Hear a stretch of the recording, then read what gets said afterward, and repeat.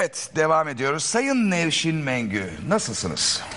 İyi olmaya çalışıyoruz. İyi olmaya çalışıyorsunuz. Evet şu özellikle Sinirliyiz. sonra. Sin- sinirliyiz. Peki. Ee, bu geçen gün e, sizinle ilgili bir şey e, yayınladık. Ondan sonra bize sinirlendirdi, sinirlendiniz mi?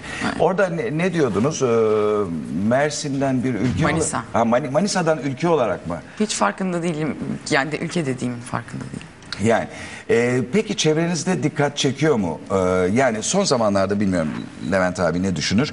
E, medyadaki genç ve çok başarılı e, habercilerimizin e, biraz da sinirli olduklarını fark ediyoruz. Bunun nedeni nedir acaba? Yani burada kinayeli böyle Bir bir, şey söyleyeceğim. dalgaya alma bir şey falan durumu yok. Şimdi, Yani memlekette Afganistan kriterleri falan hali yani her gün bir şey oluyor. Bir 5.6 büyüklüğünde bir deprem oluyor. Otel çöküyor. Bir iki deniz otobüsü kaçırıyor. Yarın biri kendini patlatıyor falan.